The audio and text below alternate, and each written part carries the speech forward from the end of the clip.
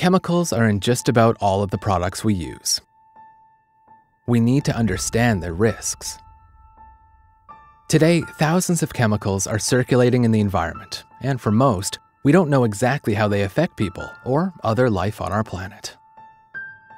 For decades, scientists have tried to understand the effects of chemical exposure by experimenting on animals.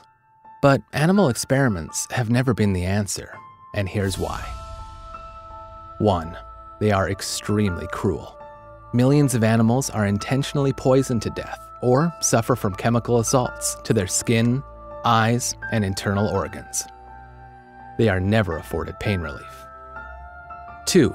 They're unreliable. Animals are subjected to very high doses of chemicals, up to 1,000 times higher than humans would ever be exposed to.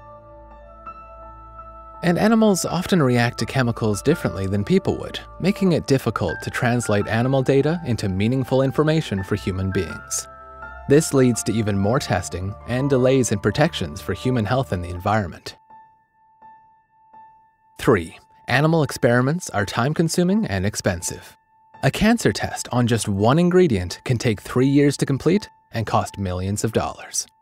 Fortunately, there is a solution. In recent years, scientists have developed groundbreaking test methods that actually predict how a chemical might affect human cells, tissues, and organs. These new technologies are more sensitive and can detect toxic effects that animal experiments may miss.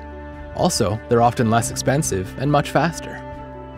For example, a new robotic device can work around the clock, testing thousands of chemicals every day.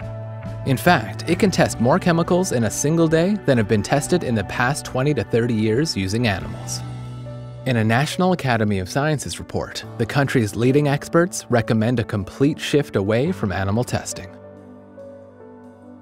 However, those who profit from the current situation are preventing change.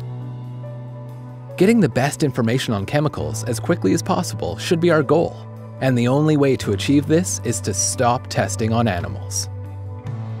Please add your voice to ours and demand that industry and government use modern test methods. It's the right thing to do, and it's our best hope for the future. To learn more and take action, go to pcrm.org.